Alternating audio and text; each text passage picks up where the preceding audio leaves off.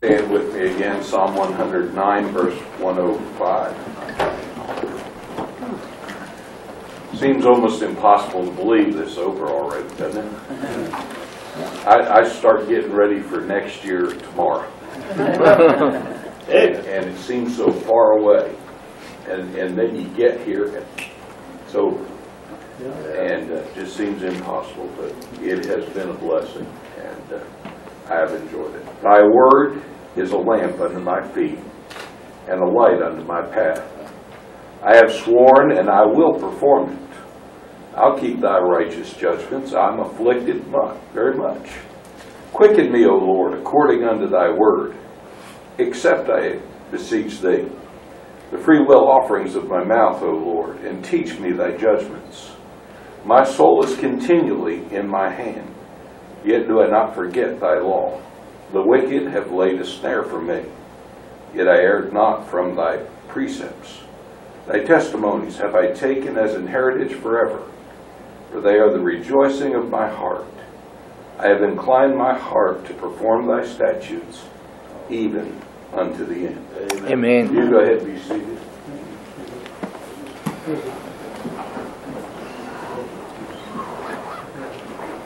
This, uh, instead of our songs for hymns, we're gonna have Brother Hughes sing another solo. Please, Brother Hughes, come right over.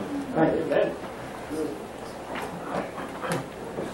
While Brother Hughes is coming, I'd like to recommend to you a songbook that he's put together with all the songs that he's written. It's like 90 pages, uh, about 90 pages. Uh, And he's put it together, and there'll be songs that he's, that he's written, and I think it'll be a very, a blessing to you. He has some, some of the songs are on CDs uh, out there in the lobby on the table, uh, on his table, and some others that just have, well, this is the sheet music that's in this book that he's put together. So there'll be some songs that you could use in uh, your solos and churches and places you go, and I know you'll enjoy them because we've enjoyed Dr. Hughes as he sings for us. It'll be a blessing to you. God bless you.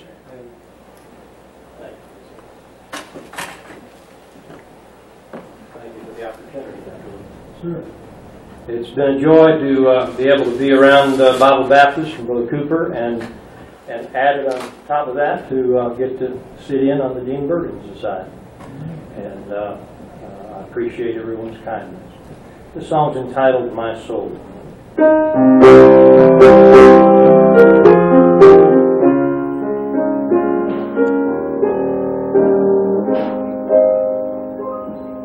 My soul, ask this question. The answer you must give. Would I be willing for my God daily to live?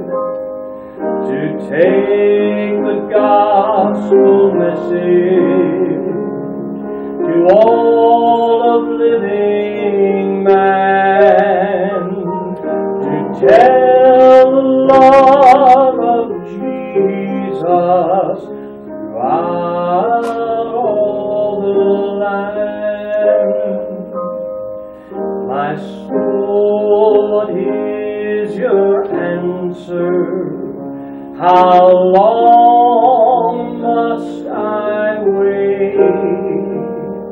Will you serve the King of Kings? Why do you hesitate to take the gospel message to all of living man to tell the love of Jesus throughout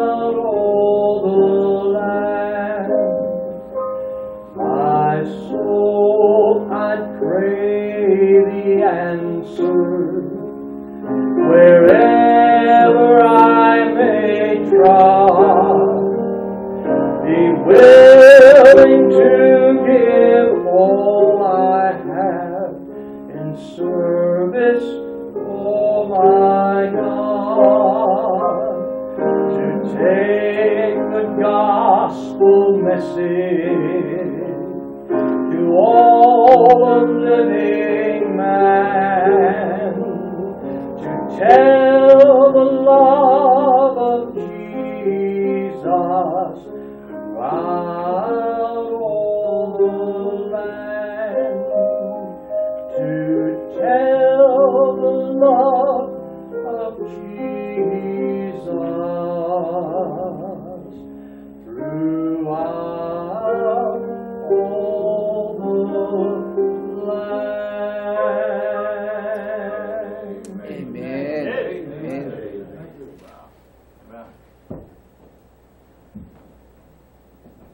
couple fellows are gonna be passing out some papers, if you would, fellows, uh, that, that will help you to understand Dr. Waite's presentation in a few minutes as he comes.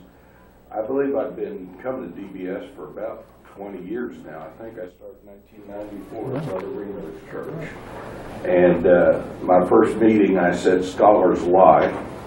I haven't changed my opinion. Uh, but, uh, I think that our critics are out there because we've had some fun this week.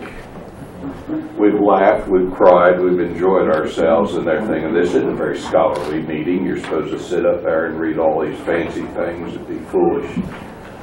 Folks, remember this, scholarship is not inventing big words to make simple things difficult. It is making difficult things simple. You and I work hard to defend the King James Bible, the Textus Receptus, the Masoretic text. You don't usually have to defend a lion. If you'll open the cage, it'll defend itself. When we go home from this place, it is important for us to preach the Word, not about the Word. Preach the Word. It'll defend itself. Now, we need to be ready to give an answer, and I, that's what this is about. To preach the Word. Dr. Waite, before I introduce you formally, I need to ask you what I've heard Dr. Bennett ask you so many times. You've been studying the Bible for many years in English, Greek, Hebrew, Aramaic. In all those years, have you ever found any place where our Bible is inaccurate, mistranslated, or untrustworthy? I'm not. All right, then I guess we can ask you to speak. I guess. Let me introduce to you our president, our leader, our friend, a man who has faithfully, fearlessly preached the Word of God for many years, Dr. D.A. Waite. Thank you. Thank you very much. See if I can Get around the proper way here. Going over here? All right. Did you all get one of these? Uh, Anybody need a, need one? Raise your hand if you didn't get one of these. Anybody? All right, brethren, thank you. Pass those out in good shape. Uh, We're going to be talking about Gnosticism this last message. And uh, get that book on the book table if you can. It's a revision of what uh, the lady has written many years ago, Janet Mosier, The Doctrinal Foundation of the New Bible Versions. That's what Gnosticism is. Tells you some of the theology of it, some of the beliefs of it. But uh, notice uh, all Gnostic quotations, all Gnostic quotations are can you read that all right? Or should we dance? We shut off those lights? Maybe it'd be a little bit easier. All, all quotations are here from the Gnosticism, the Doctrinal Foundation, the New Bible versions. The pages of the book are where the information is found. 212 pages, as we have it there, it's on the book table. But this is a very vital book. Uh, she came to our home one time, Mrs. Mosier, and uh, she talked with us. And later on, she finished this little work, and uh, so I thought it was excellent. And uh, she said, "Now, uh, don't tell it to anybody. She doesn't want to sell it. want to get-" I said, Mrs. Mosier, I'm not going to sell it. If people want it, whatever the cost is, we'll take care of it. She's with the Lord now. Uh, She didn't want to make any profit on it, but I never found anything as important, more important to this subject than this particular book. So uh, we have it. According to the Gnostics, the place and headquarters of the true church, the Gnostic church, and God's temple is Alexandria, Egypt. That's where the Gnostics lived and breathed. They still have Gnosticism all over the world today, but the headquarters was, probably still is, Alexandria, Egypt. It's Egyptian. But notice also, Alexandria, Egypt was the headquarters of the Gnostic uh, doctrines and heresies, but also the Vatican and Sinai Greek manuscripts were from Alexandria. That's where the Vatican and Sinai manuscripts originated. Now, Dean Burgon said it's, it's in all possibilities. In Alexandria, Egypt, like every other place in the whole then known world, they received the traditional text, the same text that underlies the King James Bible. But the Gnostics, when they found that they didn't agree with their theology and their doctrines, altered that text. They changed it a little bit here, a little bit there, just a little bit, little tiny things. In fact, 8,000 differences Dr. Jack Moorman has found in the text that they have in the Greek and our text that we have. Of the 8,000, some of them you wouldn't even know the difference in English or translation, but 356 of them are doctrinal passages. But the Gnostics changed and altered certain things. And most modern Bibles in all languages of the world, whether it's Hebrew or whether it's whether it's the Hebrew New Testament, whether it's the uh, whether it's uh, whatever Spanish or Italian or whatever the language might be, their languages are based upon these manuscripts. They're filled with Gnostic heresies. Filled with Gnostic heresies. There's abbreviation for the versions, if we know many of them. KJV is the King James Bible, and uh, all the verses are quoted from the King James. ASV is American Standard. Uh, Pastor Dan spoke on that the other night. Uh, Revision Revised, RSV, New American Standard Version, NIV, English Standard Version. Also, our other brother spoke on that one as well, uh, Dr. Uh, uh, DiVietro. So these are the abbreviations. Now, the propagators of Gnostic doctrine are five that are listed in the book, and I think that these are the main five, the historical five. Clement of Alexandria, the teacher there at the Alexandrian school. Origen, he was a disciple of Clement, a teacher there also at the Alexandrian school. Hort, his Greek New Testament, 1881, Revised English Version, was a disciple of Gnosticism. And he used the Gnostic doctrines, the Gnostic texts, the Vatican and Sinai texts. Same with Westcott. An apostate, these were apostate Church of England men. Dean Burgon was a conservative, Bible believing Church of England man, completely contrary. He wrote three articles in a, in a version in a periodical the time when the Westcott and Hort text came out and answered that text. He answered the text uh, with the, the, what it was wrong about it, the philosophy behind it. He answered the text as far as the English Revised Version of 1881 was no good and defended the King James Bible. That's all in the revision revised that Dr. Bennett mentioned this evening. And then Philip Schaff. He was the leader in the American Standard Version in this country, 1901, as Pastor Dan mentioned. So these are some of the leaders of the Gnosticism brought over into modern day. Now, notice also the Greek manuscripts. Uh, Gnostic theology is the basis for critical Greek texts and heresies. Here's some of the abbreviations that we'll use. Uh, BYZ is Byzantine, that is the Antiochian Textus Receptus, traditional or received text. That's what that stands for. Uh, S is Sinaiticus, the Alexandrian Gnostic text. Uh, B is the Vatican text, an Alexandrian Gnostic text. A, Alexandrinus, an Alexandrian Gnostic text. C is Ephraemi, Alexandria text also. Uh, Greek editions on page 22 are mentioned. WH is Westcott and Hort, 1881, English Revised Version. NU, Nestle United and Aland uh, text and United Bible Society text, 26 and 27, 28 editions. So NU and Nestle and United Bible Society text. So these are some of the abbreviations. Now, what will be shown in these slides? The modern Bible versions have not changed many of their words by accident. A lot of people think, well, just because Vatican and Sinai manuscripts teach this, therefore use it. It's not accidental. Those changes are not accidental. Those changes are Gnostic changes. And every fundamentalist, like at Bob Jones University or these other fundamentalist schools that are perpetuating this text, they're perpetuating Gnostic heretical doctrines. 356 of them are, are brought over by this thing. And these people say, oh, there's no doctrinal differences. They're lying. Either they're lying or they're ignorant of the facts. Now, a teacher of theology, if he's in the Westcott and Hort text or our kind of text, ought to be knowing the truth. And if he doesn't know the facts, that doctrinal differences are there, uh, he should know, or he shouldn't be teaching. Uh, whether it's a Bob Jones graduate or some other critical text man, whether it's Dan Wallace, who's been quoted here, whatever. And if he doesn't know it, he shouldn't be teaching. But if he does know it and says there's nothing doctrinally involved, he's a liar. And the devil is the charge of all the lies, as it says in John 8 44. Uh, you're the father of the devil. He's a liar and the father of it. Uh, these texts are not by accident, the changes. The Gnostic manuscripts, being Sinai, Aleph, have changed many of the traditional received Greek words in order to conform them to Gnostic doctrines of Alexandria, Egypt. Uh, since the modern versions translate from the Gnostic manuscripts, Vatican B and Sinai Aleph, they also contain many of these Gnostic doctrines, which we will see and which we will find. I have outlined 15 Gnostic doctrines found in these new versions. Now, these are basic doctrines. These are not little tiny, insignificant things. Some are more important than others, granted, but these are major doctrinal heresies.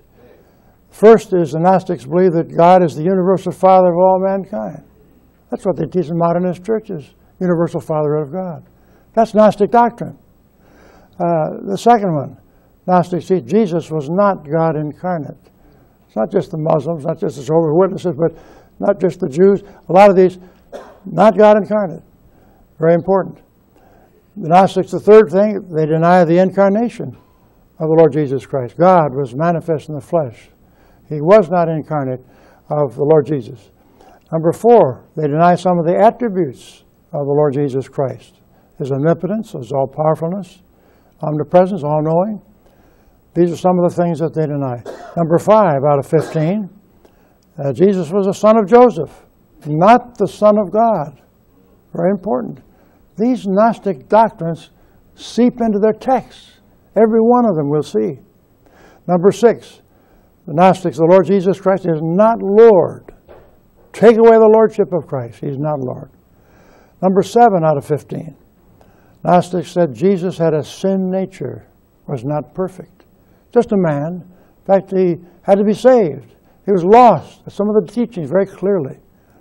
Uh, number eight, Gnostics say the resurrection of Christ was spiritual, figurative, not bodily. Number, number nine, Gnostics say the second coming of Christ is not literal. Second coming, not literal, not really coming back. Number 10 out of 15, uh, they teach that man is bisexual. So sodomy is all right. He's a man and a woman. He's both. Who cares if a sodomite's all right? President sodomite, President Obama, as many have documented very clearly, he no wonder he says sodomites can marry, lesbians can marry, uh, man and man, woman and woman, for that. But he was he's a Gnostic in his theology and practice. Not only in Illinois, as he was a senator, and other times frequenting the homosexual bars and places of that kind. A strange thing. And number 11, Gnostics teach that marriage and sexual propagation is evil. Marriage is evil, sexual propagation is evil. Number 12 out of 15, uh, Lucifer is the Savior. Not only is he a Savior, but he's, he's uh, the only one that can save. Is Lucifer, the old devil himself. Number 13 out of 15, Gnostics favor idolatry, fornication, adultery, and homosexuality. They favor all these things which the Bible calls sin, right. definite sin. Number 14 out of 15. Gnostics teach that redemption includes the whole world, universal salvation. In fact, they teach even the devil is saved. Everyone in this world is saved, including the devil and all of his angels. 15 out of 15. Gnostics teach that heaven is not a literal place, just figurative. Let's see some evidence for some of these things. Number one, Gnostics teach that God is the universal Father of all mankind. That's page 52. Now notice these different references. In Matthew 24, 36, the Byzantine Text Receptus in our King James Bible teaches, My Father. The Lord Jesus was the Son of God and God the Son. Perfect God and perfect man my Father. Not so the Gnostics. They don't believe he's the one that's the Father of the Lord Jesus. He, they change it to simply the Father. The Father of all of us, universal fatherhood of God is taught by changing my to. See, These are simple things, aren't they? So, oh, look at that little tiny, oh, doesn't make any, any difference. It does make a difference. They do it with purpose, they do it with malice, they do it with apostasy, they do it with satanic doctrines. Same with John 6, 65. The Lord Jesus says, My Father. Not with the Gnostic text and, and Western Hort, Southern, uh, the New, new uh, United Bible Sign, New American Standard, NIV, English Standard, just the Father. Gnostic perversion. He's the Father of everybody. That's why these services in, on the TV sometimes with, with uh, funeral services, whether they're Roman Catholics, whether they're apostate, apostate, everybody's saved, everybody got the Father. Oh, the Father. He's not the universal Father. Uh, notice also, let's see, how do we get back there? Let me go this way. Okay. Notice in John 8, 25, 28. Again, my Father. All these other references and translate to the Father, just the, the Father. He's Father of everybody, in other words. John 8, 38. They changed my Father to simply the Father again. Uh, and then John 14, 28, 16, 10, 20, 17, all these verses change my Father, speaking of the Lord Jesus, to his Father, to the Father. Everybody's Father.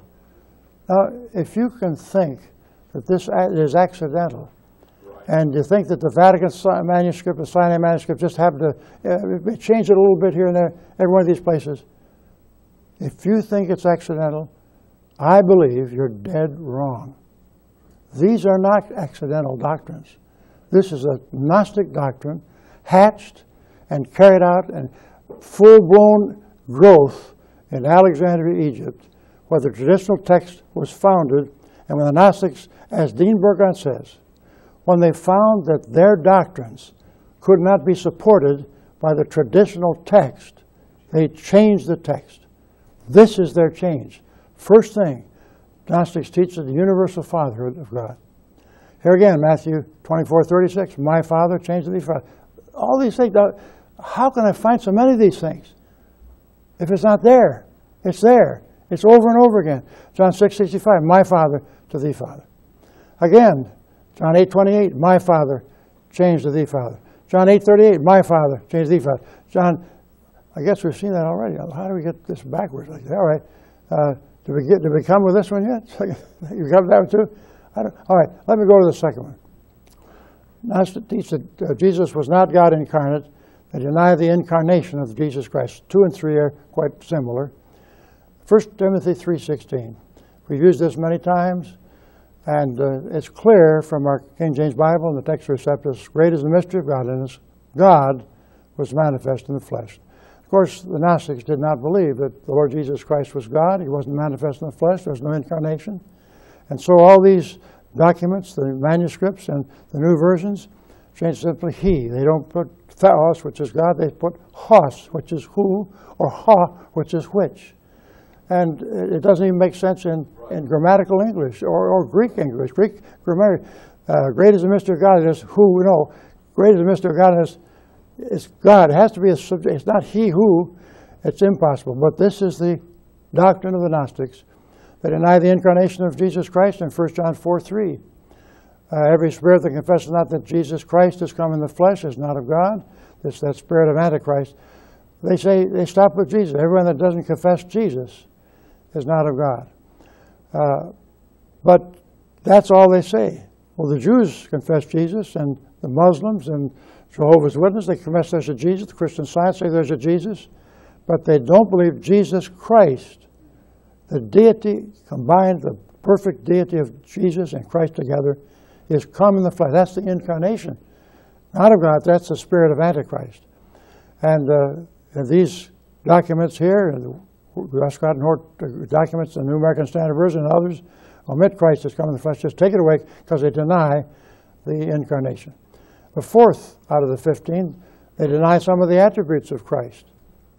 In John 8:59, they deny his omnipotence, his all powerfulness. They don't believe he was powerful, he was just a man. He was a sinner. They teach Jesus was a sinner. Joseph was his father. He needed to be saved. He didn't die for sinners on the cross. Nothing true about their theology and their Christology. And so he had no omnipotence. So when you come to John 8 59, uh, the Jews were gathered around to stone him to death. Stone him to death. And it says in our King James Bible, going through the midst of them, and so passed by. Uh, the other versions completely eliminate this. They just simply say things before it, things after it. But they, if, how could someone who's simply a human man go through the midst of a crowd of Pharisees that are ready to kill and stone the Lord Jesus Christ if he were merely a man? These Gnostics didn't believe he could do it because they did not believe in omnipotence, his all powerfulness. Therefore, they ejected these words from John 8 59. Then his omnipresence, John 7 13. No man hath ascended up to heaven, but he that came down from heaven, even the Son of Man which is in heaven. Uh, Origen and all these other texts and versions omit these words, which is in heaven. They did not believe in the omnipresence of the Lord Jesus Christ. Now, true, the Lord Jesus was here on earth, but as to his deity, he's in heaven as well as on earth, all over the world. He still has omnipresence. Yes, he's seated to the Father's right hand, but he's also with us tonight. Two or three are gathered, there am I in the midst of you. Omnipresence of the Lord Jesus Christ. The Gnostics, no. They couldn't stand it, so every time they had a chance, they altered the Greek text, and these modern versions have followed Gnostic, satanic heresy. The Gnostics denied, number five out of 15, that the Son of God was not Jesus, the Son of God, but the Son of Joseph. In Mark 1 and verse 1, for example, uh, the King James Bible accurately says, and even the ESV, Jesus Christ, the Son of God.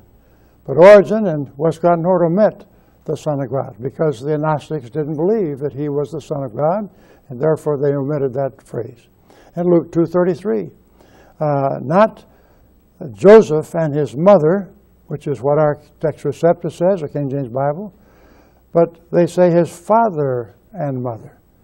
They did not believe that it was just Joseph, but that he was his father, his physical father.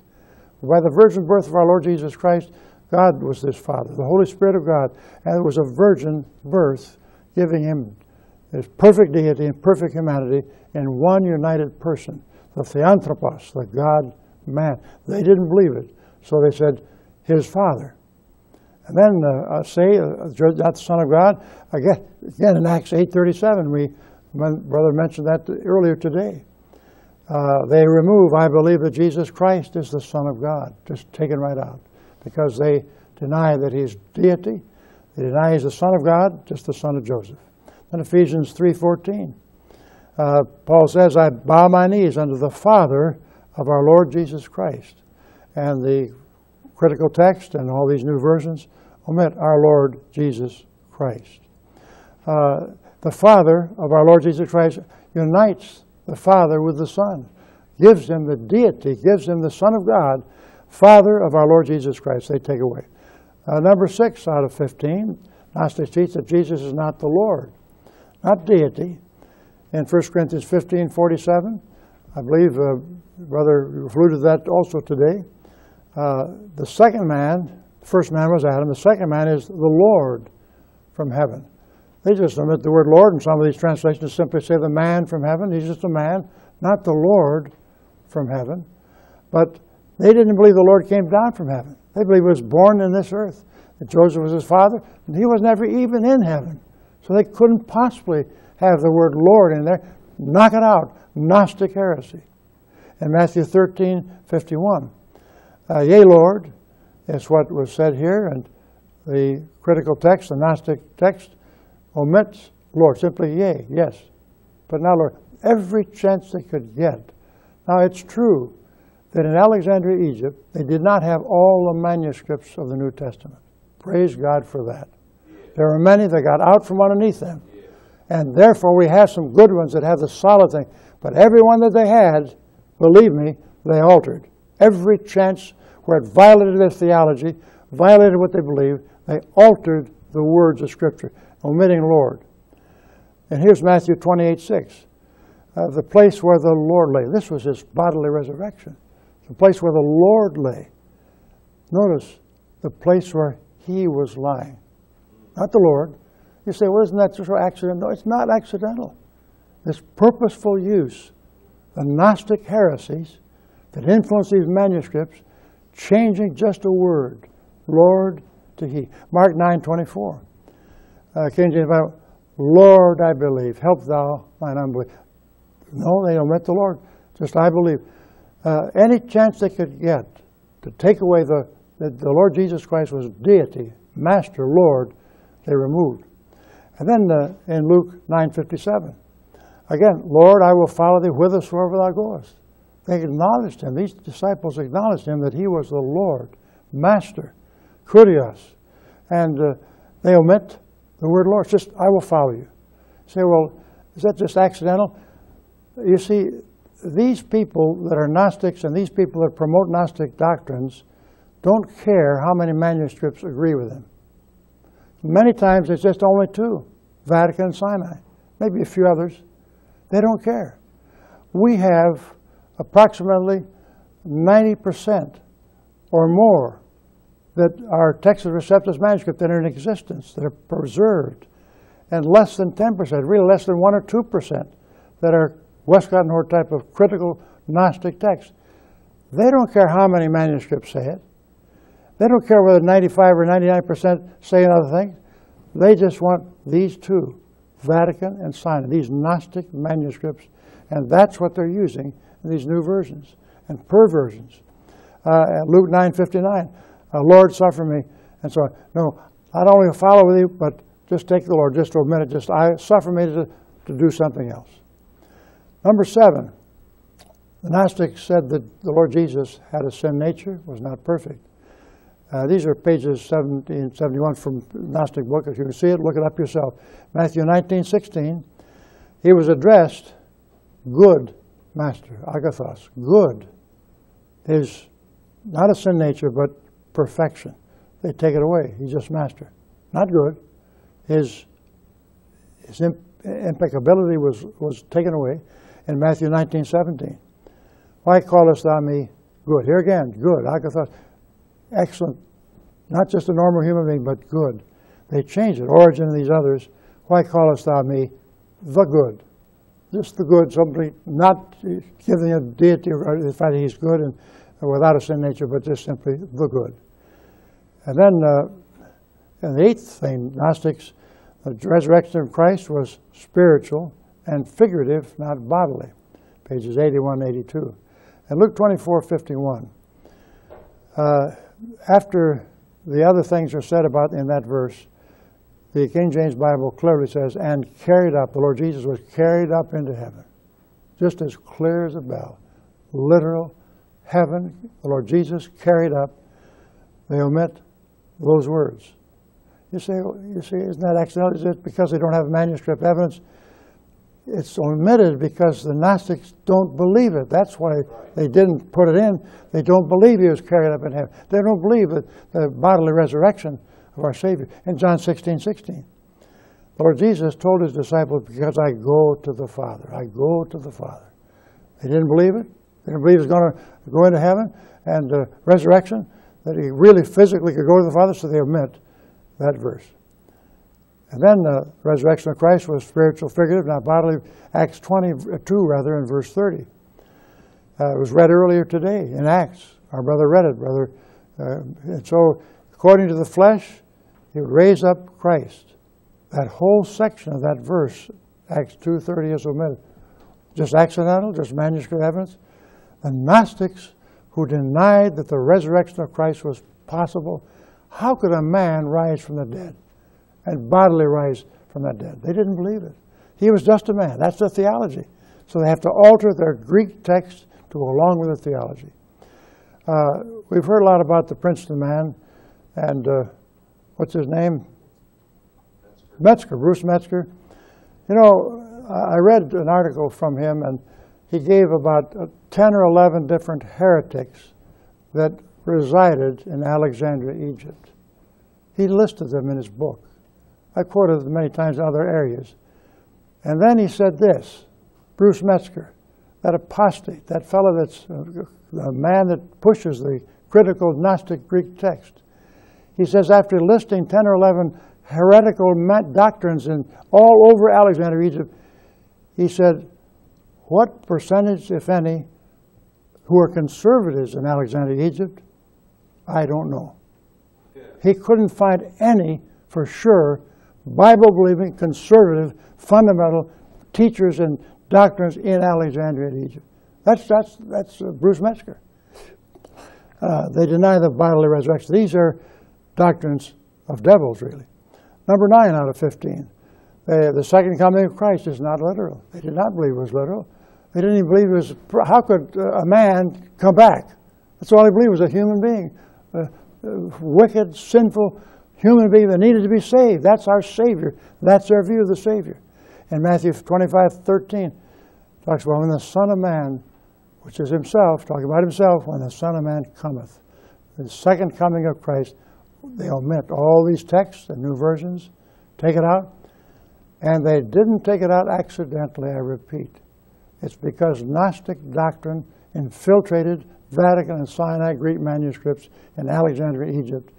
And the people, even fundamentalists today, not simply modernists, apostates, not simply Roman Catholics, but Bible believing fundamentalist Christians that we love in the Lord, they're saved. We don't agree with them on the text. But uh, by this shall all men know that you are my disciples. They have love one for another. We love them. Wish we, I've said many times, I wish they'd love us back. But, but uh, we don't agree with them on what they teach about these things. The Son of Man cometh, and uh, they're, they're filling their churches and their pulpits, starting, as Pastor said, uh, it's the professors that are in charge. It's the professors, the teachers that are in charge, the pastors in charge, leading the people astray. And the professors that teach the, the, the preachers, and the professors that taught those, leading them astray.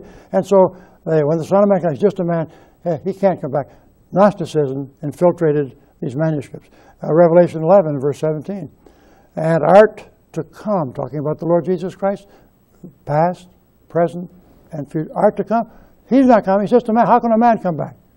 Gnosticism, heresy. Did I miss one? Let me see. Eight, and that's nine. Okay, we're all right. The tenth one out of fifteen. Gnostics. Man is bisexual. Uh, man and woman. He's all combined. So sodomy is all right. If half of them is a man, half of them is a woman. And as mentioned, uh, Brother mentioned earlier today in Deuteronomy, all these different verses. 20, I guess it was Dr. Yoon and others. 23:17. There should be no whore of the daughters of Israel, nor sodomite, uh, just a shrine prostitute, NIV, or a cult prostitute. See, sodomy. Uh, we don't want to call sodomy sodomy because uh, this is fine. This is all right. There's just bisexuality. The Gnostics were perfectly uh, happy with President Obama's stance on gay marriage. Perfectly happy. They're perfectly happy with all the laws of our country being changed to say marriage is a one person and another person. He was perfectly happy when, when the states, with states' rights, 90% in one state said no men and men, women and women marriages. The court threw that whole state thing out. Terrible, but that's what these Gnostics believe. Sodomy is all right. Uh, 1 Kings 14, 24, the same thing. Sodomites in the land. No, just male shrine prostitutes, male cult prostitutes, but not sodomites. In 1 Kings 15, 12, uh, sodomites again, uh, just shrine prostitutes or male cult prostitutes. Uh, this is all right to them. Again, man, bisexual, sodomy is all right in 1 Kings 22, 46. Sodomites, shrine prostitutes, male cult prostitutes. Uh, 2 Kings 23, 5. Sodomites, sodomites, prime prostitutes, uh, cult, the same thing. It's all right, no problem. Those people that use those versions say it's all right. Now, Gnostics also teach, that's a strange teaching. It's found on page 101 in that document, if you have it. Uh, the Mark 10:7 says, "For this cause shall a man leave his father and mother, and cleave to his wife." Now, the Gnostics don't like marriage. They don't like sexual propagation. They say it's evil. It's hard to believe. They say it's evil. And so the text, the Gnostic and critical text, and some of these versions omit and cleave to his wife. Just leave your father and mother. Don't, don't marry, don't get away. Marriage and sexual propagation. Number 12, Gnostics, Lucifer is the Savior. One of our other brethren mentioned that yesterday or today. In Isaiah 14, 12, I believe Brother Yoon mentioned right this morning, this afternoon, whatever it was. Uh, we have in 1412, our King James Bible, Jesus is the morning star according to Revelation 22, 16, but uh, it's confused with Lucifer. How art thou fallen from heaven, O Lucifer, King James Bible, the Masoretic Hebrew text. But the NASV, uh, O star of the morning. Well, in Revelation 22, 16, star of the morning, morning star is the Lord Jesus Christ. So he's the same as Christ. Lucifer is the morning star, which is the Savior. Lucifer is the Savior. And then in NASV, O star of the morning, morning star. Uh, and NIV, morning star. Uh, AESV, day star. And as Brother Yoon mentioned, the word star is not in the verse. Use morning is not in the verse. Boker and all these other words, the Hebrew's not there. Uh, and Halel means shining one, as he mentioned. Shining one, bright one. And that's good Latin, lux ferus. Lux is light, ferus is to bear, to, care, to bear light. Light bearer. Lucifer, it's a, it's a Latin word, but it's a good word. It's Hebrew exact translation. But since the Gnostics believe that Lucifer is the Savior, they're comfortable teaching it as, oh, morning star, he's the Savior. Lucifer, the Savior. Now, number 11. Well, how do we go backwards? I don't know why I'm going backwards here. Uh, pardon me. Uh, number 13. They favor idolatry, fornication, adultery, homosexuality. Nothing's wrong in the doctrines of the Gnostics. And Revelation 2, verse 15, talks about Nicolaitans, were idolaters, and the Lord said, Which thing I hate. They were idolaters, and idolatry was hated, but which thing I hate is, is left out of these manuscripts, these Gnostic critical retexts and the new versions, uh, because to them there's no sin in idolatry. Uh, then also, Gnostics think that fornication is all right, pages 109 to 110. And Romans 129, uh, fornication is in our King James Bible, it's omitted from the manuscript, the Gnostic critical text, and these new versions. Uh, they may have it some other places because the Gnostics, remember, in Alexandria, Egypt, didn't have all the Greek manuscripts. They had some.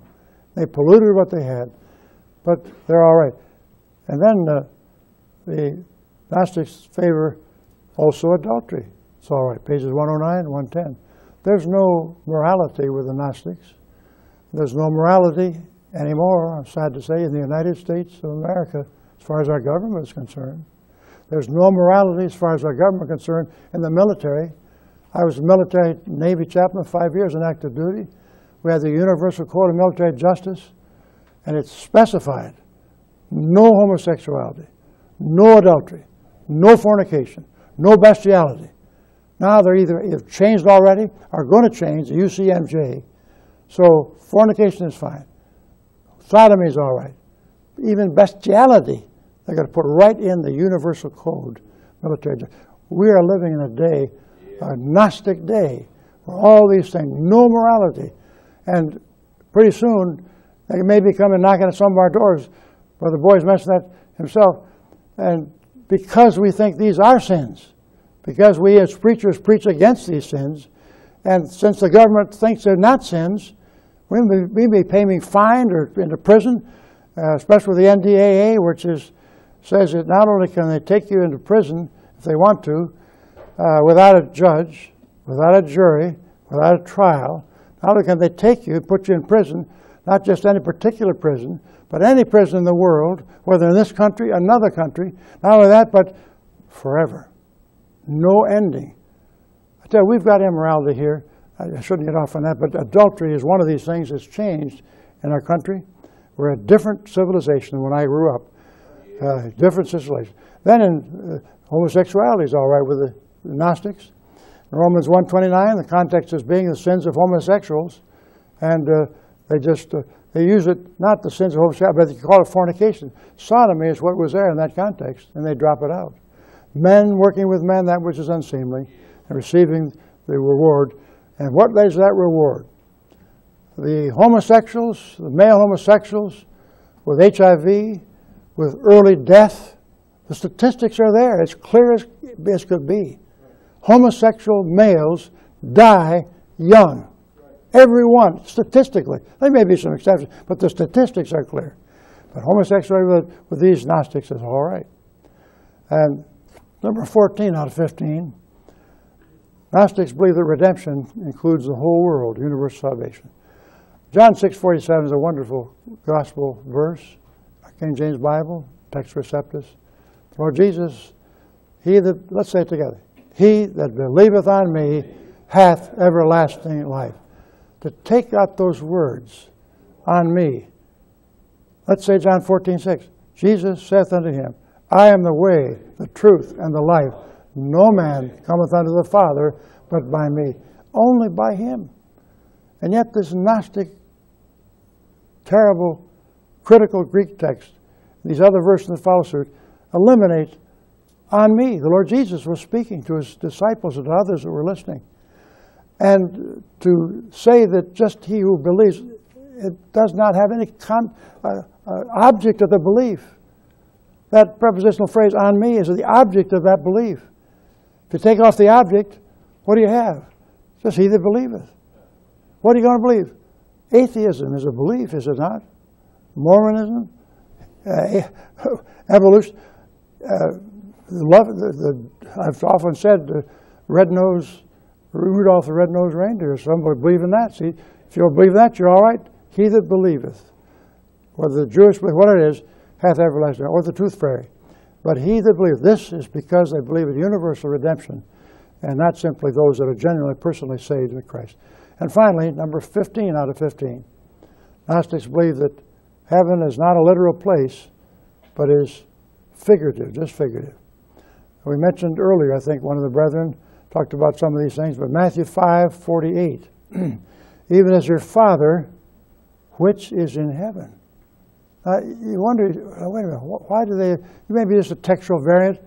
It's not simply a textual variant, it's Gnostic theology that got into those texts of Vatican Sinai and blotted it out because they didn't believe in a heaven.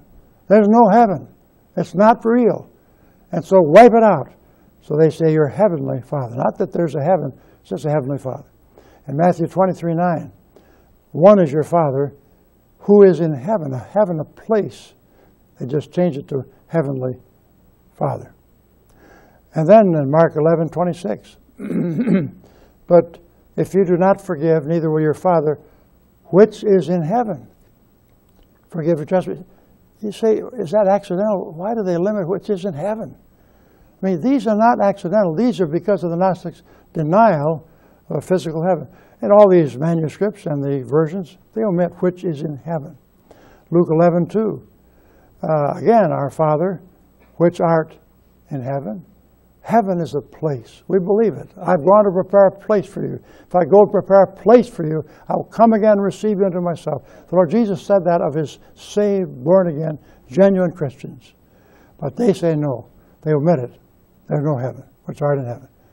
And then uh, Luke 11, verse 2. Did I go into that already? I don't think. I've got to, sometimes it backs up. No, thy will be done as in heaven. Now, so on earth, just take it away. Wipe out heaven because the Gnostics deny heaven is a place. Luke 22, 43. And there appeared an angel unto him from heaven. They just have an angel. This angel the strength of the Lord Jesus as he was in that garden, sweating, as it were, great drops of blood before Calvary, it was an angel from heaven that God sent. Before the trial and during the trial, and before that, even in the Garden of Gethsemane, remember, Peter cut off Malchus' ear, the servant of the high priest. Whew. Put thy sword in thy sheath. The cup which my Father gave me, shall I not drink it? Could I not pray the Father? He give me 10, 12 legions of angels. The Gnostics don't believe in angels. This was an angel came from heaven. The Lord Jesus could have summoned the angels, but didn't because he knew the Father's will. He came to seek and to save that which was lost based on his death at the cross of Calvary. But the angel from heaven strengthened him. They didn't believe in heaven. Then, not a literal place for these Gnostics in Luke 24, 51. Carried up into heaven. Very clear. The Lord Jesus, after his bodily resurrection, was carried up. They just said carried up. They don't believe in heaven. And John 3.13, We've said this before, earlier, the denial of the omnipresence of the Lord Jesus, even the Son of Man which is in heaven. They wiped it out, not only because they didn't believe he could be in heaven and the earth at the same time, which he could as deity, but they didn't believe in heaven. So take out the heaven, completely take it out. Uh, and Luke 24, 51, knowing in yourselves ye have in heaven a better and enduring substance. I praise God. Those of us who are genuinely saved have in heaven an enduring substance. And they were met in heaven because the Gnostics don't believe in heaven. Strike it out. And then John 5, 7, and 8. Uh, Dr. DiVietro and others have mentioned this on the Trinity. I never really thought about much. I, I believe it's wrong to take out the Father, the Word, and the Holy Ghost. It's wrong and it should be in there, all the doctrines. But I never, until studying this subject, noticed the word heaven, how the Gnostics hate it. That's one of the reasons why they couldn't put it in there. They took it right out in heaven. They don't want that. It's omitted. No heaven. Then it's not a literal place, figured Revelation 16, verse 17, the temple of heaven. Not just a temple. No heaven. We have a temple in heaven. The Lord Jesus is the high priest, our great high priest in heaven. So the 15 Gnostic doctrines that we looked at just briefly, it's been very brief. There are many others I could point out. They deny that universal, they believe in the universal fatherhood of all mankind, everybody saved. Jesus wasn't God incarnate. They deny his incarnation, the Lord Jesus, perfect God, perfect man. They deny some of his attributes, like omnipotence, his all powerfulness, walking through the people that are ready to kill him, or omniscience, his everywhere presence. Speaking about omnipotence, walking through this crowd, there was a crowd of Pharisees and Sadducees and others wanted to stone him to death. I've been a, I was a football player in high school. I was a tackle. I was on the line. And when I was in the ninth grade, the boss, the head man, said, wait, I'd like you to see, try you out as a quarterback. I said, all right, sir. So, and then get in that quarterback spot, and I want you to run us a couple of plays. And they want to be a, maybe a fullback, see, at that time. Not a quarterback, but a fullback. And I said, what play do you want me to run, uh, uh, you know, the, for the man?